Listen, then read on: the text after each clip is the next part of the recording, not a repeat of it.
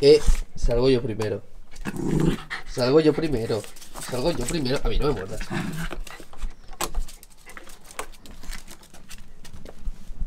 Paseo matutino para que Isi haga sus cosas. Todo esto son terrazas de cultivo que se, bueno, se cultivaba, hay almendros, pero ya no, ya esto está como abandonado, es de, de hace muchísimo, muchísimos años. Y hay terrazas aquí, ahí hay, todo está lleno de terrazas. Y ahí está el circuitillo que ahora, que ahora verás, pero el del último blog donde salía explicando era más por arriba. Entonces la idea es unir un poco el perímetro con esta zona de aquí también y hacerlo todo un poco más extenso. Pero ahora, ahora verás, ahora verás. Esto es un circuitillo que tenemos aquí que está hiper abandonado y ahí hay un triple que ahora te contaré algo interesante que pasó ahí. Hay una meseta que es tipo, es meseta doble. Aquí hay un, un kicker, hay un hueco y la meseta que está abandonado. Bueno, todo está abandonado. Y aquí un peralte que está guay. Pues por aquí. Y aquí es un mini doble que haces bob. Y aquí es como para pillar caña. Pero no te hace falta mucha caña porque hay un huevo de, de espacio y aquí en la meseta te pasas heavy. Pero bueno, todo esto lo vamos a hacer nuevo. Y esta época del año es terrorífica por las plantas, porque mira, ¿ves eso? Es una garrapata.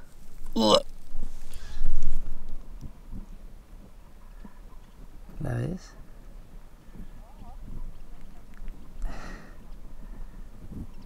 Casi me pica, ¿eh?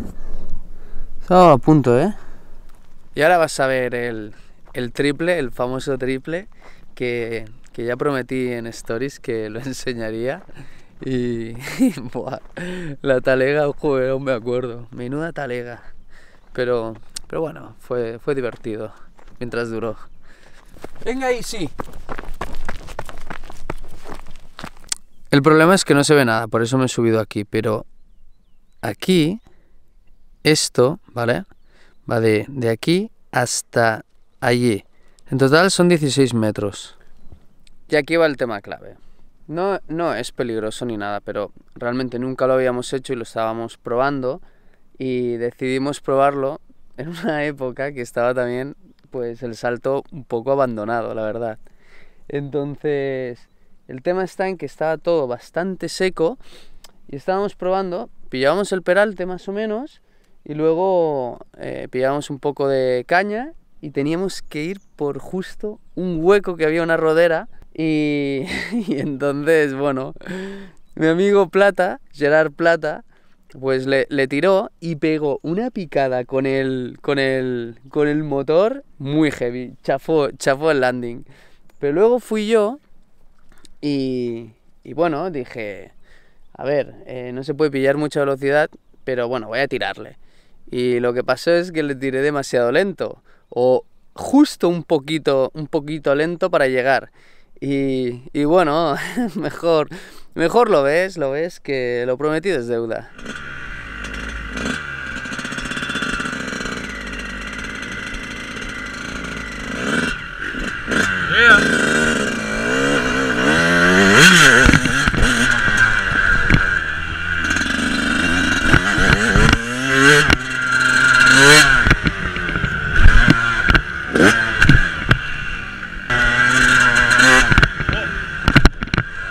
es lo que puede pasar.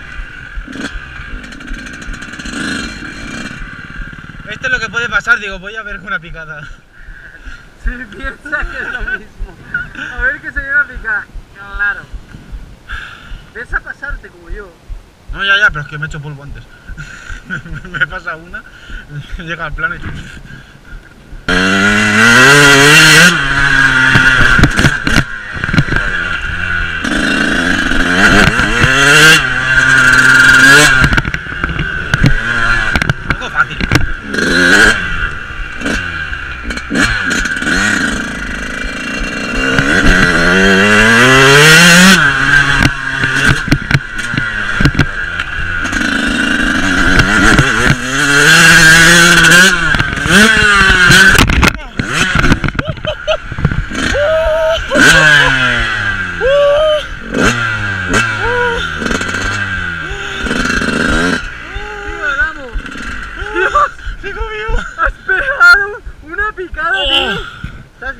Sí, sí, sí, sí. Uf.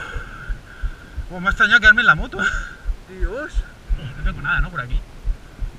No, no, no tienes nada. No, no, me queda así como comprimido. Oh, Pero tío, oh, oh. madre mía, pensé que ibas a picar de adelante.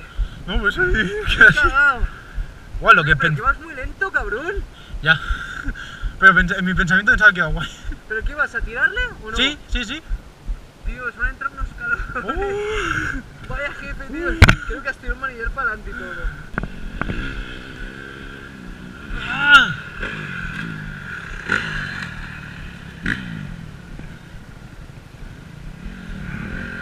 Dale, dale, dale.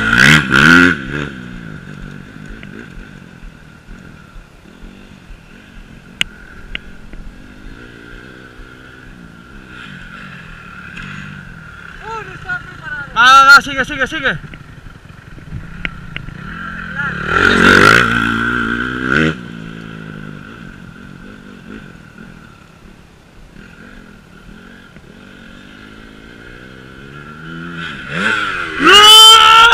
¡No!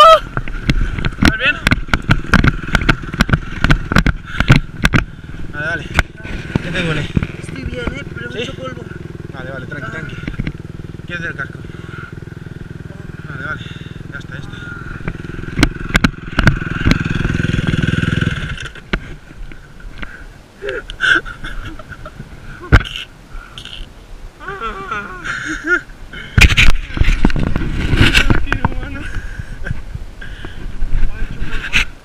Ya, ya, se ha sido igual que la mía. Igual. Hace falta más velocidad. Con nuestros cálculos. No, no, se- segunda señal. Si me echo un front flip, Sí, sí, ya salió por, de- culo, eh. por delante la moto. Sí, no, no, la recibida es dura, ¿eh? Y, eh, y menos mal que está hablando, ¿eh? Oh. No, tranqui.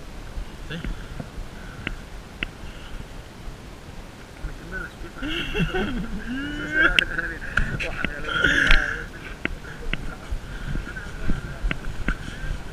¡Hola, vaya! Dios! Hemos caído el- por el mismo sitio. Vaya cráter, tío. Mira, ¿eh? Y por eso es tan importante grabar siempre que pruebas algo, porque nunca sabes lo que va a pasar. Y si pasa mal incluso está mejor. Y buf, esas talegas son de son lo peor. Espera. La alarma de hacer cosas. cojones quieres? Mírame, me, ¡Esta de guay! ¡Que me he venido para aquí! ¡Pringao! me llamas tú. Me llamas tú a las tantas de la noche, a la hora de cenar, a la hora de comer, pues ahora te llamo yo por la mañana, a las 10, que seguro que ¿Me está... cuelgas el teléfono, hijo de la gran puta? ¿Seguro? Eres la mierda, nen. Menos mal que tengo un poco de personalidad y te sigo llamando. Si fuese otro, ya te habría mandado más por el culo. Lo sabes, ¿no? Hijo de puta. Y al final, esta rampa la podremos usar en el, en el circuito, que haremos toda una acumulación de tierra, será un landing de, de freestyle para, para hacer un rato el mongolo y rompernos unas cuantas cosas. Para toda esa peña que hace motocross, o incluso la que no hace, saltar en una rampa de estas es hiper fácil. Es súper cómodo porque nunca varía la salida y todo está como... No sé, es, es perfecto. da un gusto saltar aquí, es exagerado. Y, y si no dominas mucho, te puedes ir al Jadas, los llamas y, ahí puedes aprender. Te haces un cursillo y tal y se dedican ahí a tope contigo para que aprendas a saltar. Te mueven la rampa, te la ponen casi tocando la tierra, que es imposible picar. Y, y la vas alejando y acabas saltando fácil en un par de días a 16 metros y luego la alejas un poco más y ya llegas hasta los 20. Pero realmente es un gusto saltar aquí y tengo unas ganas de montar esto ahí que, que no veas.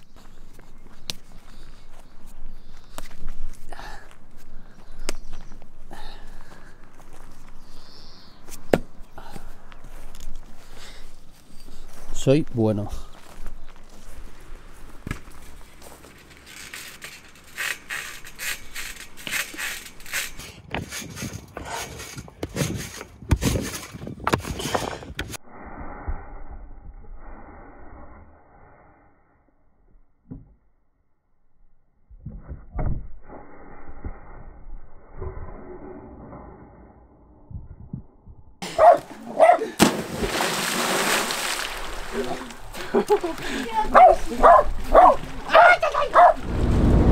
A tope.